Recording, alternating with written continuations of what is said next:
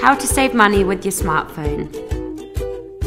Download the Shopitize app and browse through the offers. Once you've decided what you like to buy, you can unlock the offers by completing quick and fun challenges.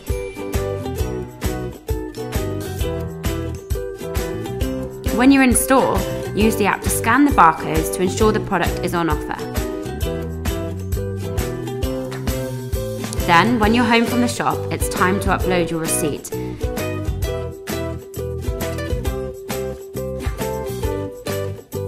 Make sure your receipt is not wrinkled and that the picture isn't blurry. And that's how to convert your smartphone into cool, hard cash. Save money every time you shop.